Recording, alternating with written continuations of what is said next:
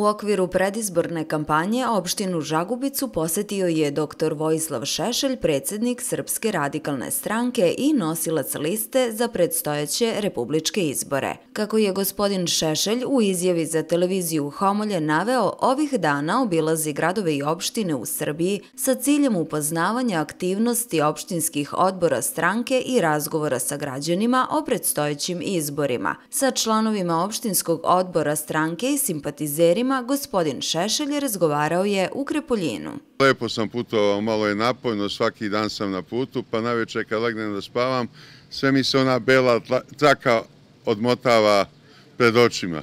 Ali moram izdržati, naravno nije mi prvi put u kampanji.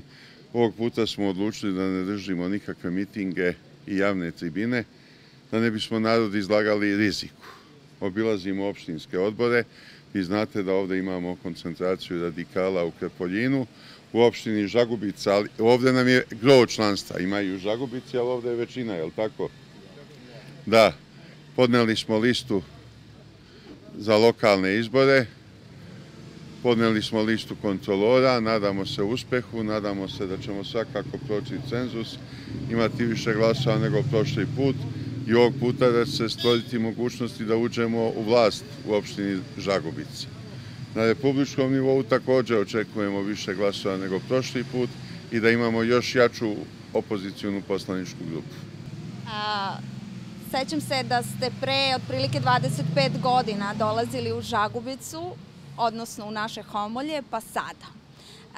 Kakav vam je utisak? Koliko se od tada do sada promenilo to što ste zatekli tada i sada? Pa možda su se malo putevi popravili, možda su kuće neke renovirane, neke nove napravljene, tako neki se napredak osjeća. Inače, Homolje je veoma lep kraj i dobri su ljudi, uvek su me lepo primali. Ja sam jedne godine obilazio skoro sva veća homoljska sela i svuda su me veoma, veoma lepo primili. Opštinski odbor Srpske radikalne stranke Žagubica predao je izbornu listu Opštinskoj izbornoj komisiji, a nosilac liste je Zoran Jovanović iz Krepoljina.